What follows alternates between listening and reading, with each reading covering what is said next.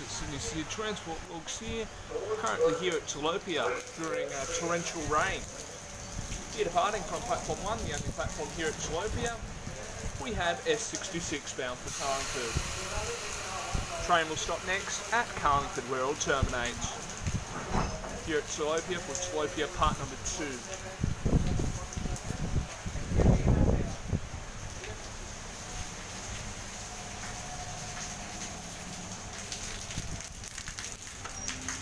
Being here during the torrential downpour was not intentional.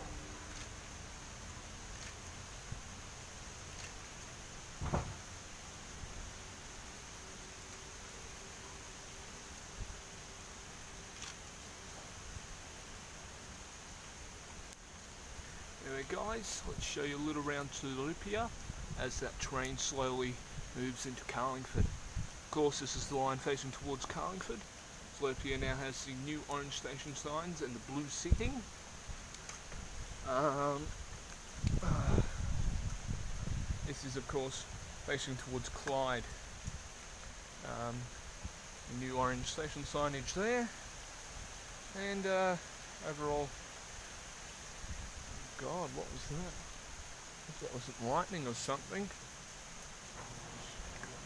It was lightning. No, it's thunder. Okay. Seems like there's a bit of a storm coming through. Nothing too major, I'd imagine. Um, yeah. See what happens. Won't be much. Because in about oh, eight minutes from now, we'll see that S66 service arriving into platform number one, the only platform here at Telopea.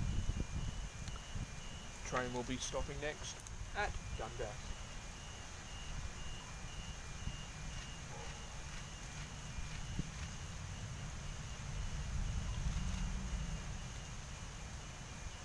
Course, someone has to block my view.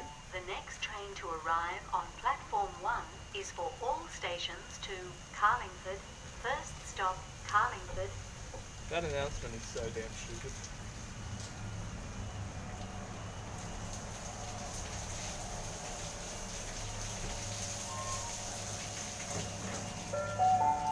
The train on platform 1 stand clear. Clyde service, next stop Dundas, followed by Rydalmere, then Camellia, Rose Hill, and then Clyde, where the service will terminate before returning.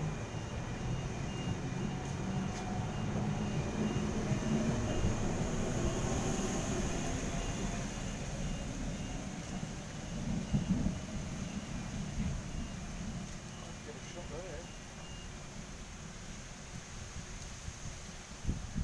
Ah, damn it, one second too late. Anyway, you when the Carlingford service arrives, which will be S74, I believe. Carlingford service arriving to platform number one, the only platform here at Telopea. This train will stop at Carlingford only, terminate, and then return. The set is S74. First stop. Carlingford,